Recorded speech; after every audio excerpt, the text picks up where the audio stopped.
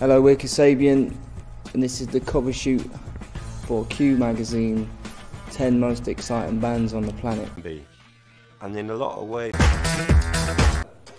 So looking forward to playing the shows in, uh, in Milan and Rome. I think they're going to be. They're going to be moments you'll never forget, nor will we. So, um, ci vediamo Roma e Milano. Ciao. What's your favorite French word? Et que peut-être en 2013, on pourrait voir pointer le bout du Ah. commencement d'un nouvel album. I don't know. No, there's no. There's nothing. There's not one thing yet. Um, uh, after this tour, we're gonna have a nice rest because you know we've not sat down since 1999. you know. so um, yeah, we'll have a few months off. I mean, I'm. I, I never really stopped working, but I think you know it'd be nice to sit down for a minute.